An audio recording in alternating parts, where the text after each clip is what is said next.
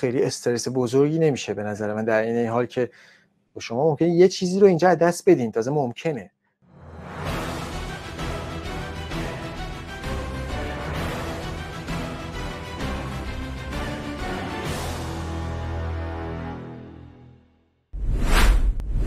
وقتی شما تو ایرانید خب؟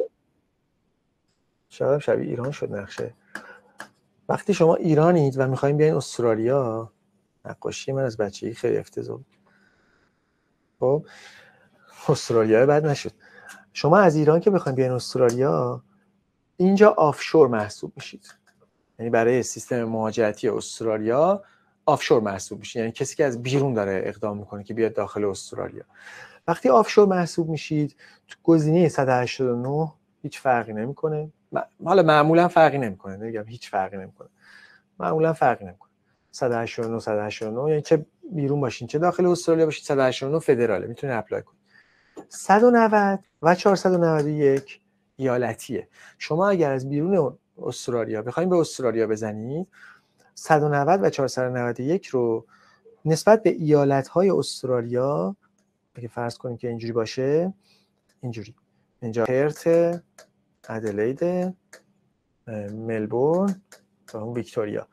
کمبرا سیدنی.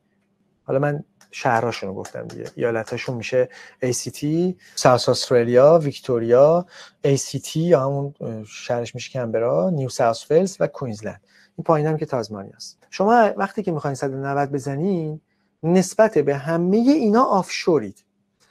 و می‌تونید از لیست های آفشور اینا استفاده کنید. مثلا لیست آفشور پرت توی 190 فرض کنید ستاره رو بزنیم اینجا.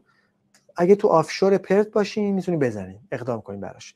تو آدلید باشین می‌زنید تو ملبورن باشین می‌زنید کمبرا باشین می‌زنید سیدنی می‌زنید بریزبن می‌زنید فرض بر اینکه اینا آفشوراشون رو باز بکنن. هر موقع آفشوراشون رو باز بکنن و شما هم بیرون باشین شما از آفشور می‌تونید با آفشور اونا اپلای کنید که مثلا پارسال آفشوراشون خیلی خوب بود شرایطش. ولی امسال نسبت به پارسال شرایط آفشوراشون ضعیفتر شده. و خب به مهاجرت مدام استراتژی باید عوض بشه دیگه تو مهاجرت. تو 491 هم همینه.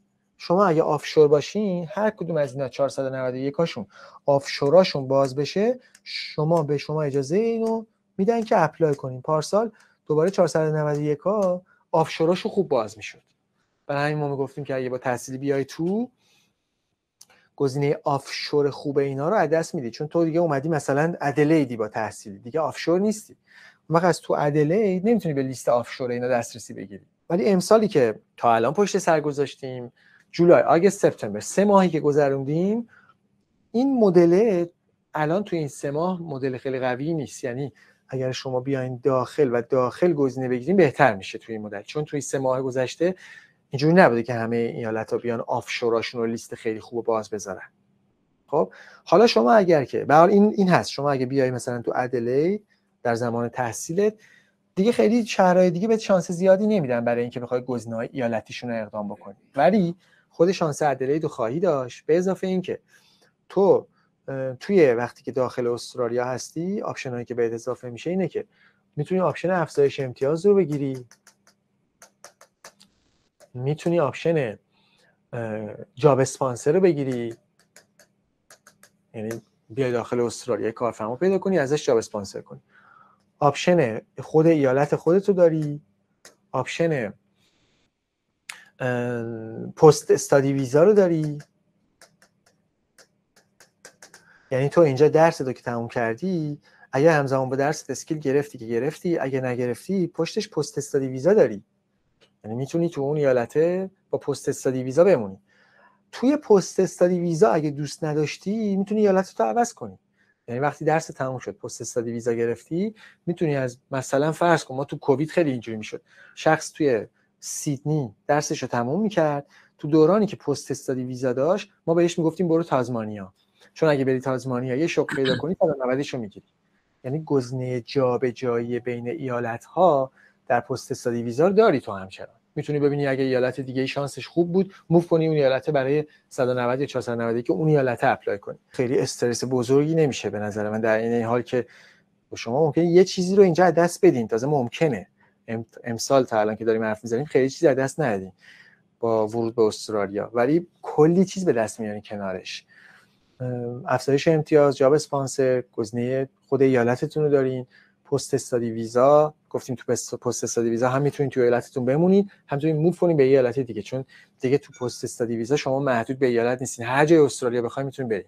تو اون چند سالی که بهتون post study visa میدن آزادی به کل استرالیا و این فوق العاده است این فرصت که داره و تغییر دوباره درستونه. یعنی همزمانه با اینکه دانشجو هستین فرض کن تو ادلید 6 ماه از دانشجوییتون گذشت شما می‌تونید برید یه ایالت دیگه. برای اینکه option خودتون اگه خواستین بهتر کنید. بنابراین شما با حالت offshore لیست offshore همه ایالت ها رو دارید اگر همه ایالت باز کنن. ولی اگه مثل چند ماه گذشته باشه خیلی لیست های offshore لیست های قوی نیست چون کاهش ظرفیت اومده روی لیستا. پارسال ما خیلی ظرفیت خوبی داشتیم امسال کاهش ظرفیت خورده و لیستا رو خیلی باز نمی‌کنه ولی در این حال شما با ورود به استرالیا خیلی option به دست میارین. option اتون خیلی زیاده اینا که به دست میارین.